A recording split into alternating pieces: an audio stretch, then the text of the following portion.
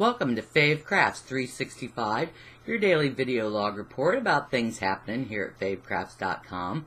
I'm Maria Nerius, the resident craft expert and your host.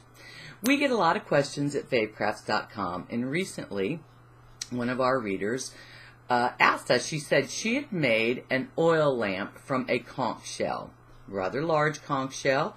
They drilled the hole. There is an area for uh, a reservoir that to hold the oil that the lamp will burn. And she had the proper wicking. She had the proper clip on top. Everything was right. But the lamp did not work. So we all brainstormed a little bit, and this is basically an oil lamp. You have to have uh, an area where the oil uh, can stay. You see inside there's wicking, and of course you have, this has a ceramic top that's the wick, and you also have this clip that clips everything into place, so everything's holding. So, uh, at first I thought, okay, well send me pictures. Maybe it's that the hole was drilled in an area that it's very difficult for the wick um, to, to draw that oil up. And she said, no, she saturated it. Everything should be fine. That baby should be lightened, and it's not. My final comment was start all over again.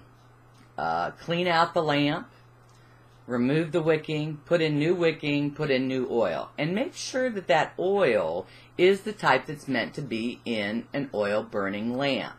Well, lo and behold, she did discover that she had put the incorrect oil in. And that's very easy to do because when you go to a craft store or you go to the area that has candles, there's all kinds of oils there. There's essential oils, there's fragrance oils, um, you name it, it's there. They all kind of look the same.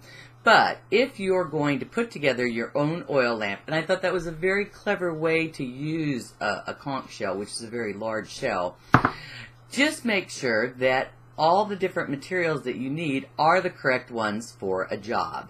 And in the future, I'll go into even this wick.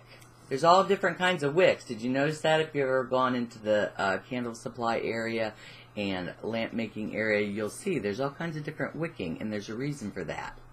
But for today, we're glad that we could solve that problem, and somewhere out there, there's somebody burning a beautiful handmade conch oil lamp.